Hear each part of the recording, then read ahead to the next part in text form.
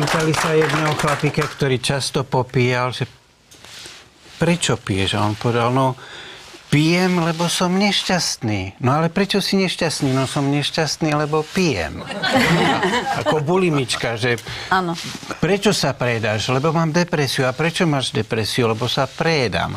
A mm, Luboš Smatana, môj kolega pražský, napísal veľmi dobrú knihu o Slovensku a tam e, popisuje východňarský systém, východňarské perpetuum mobile. Boris, budeš to poznať. Nalaj, vypíce, bo nalato. Nalejce, bo vypito.